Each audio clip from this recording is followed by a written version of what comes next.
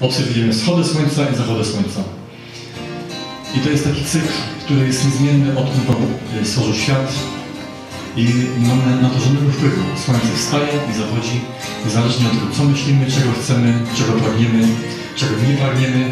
Pan Bóg tak to urządził, że to jest i z tym się nie dyskutuje. Pieśń ma tytuł Wędrujące Słońce.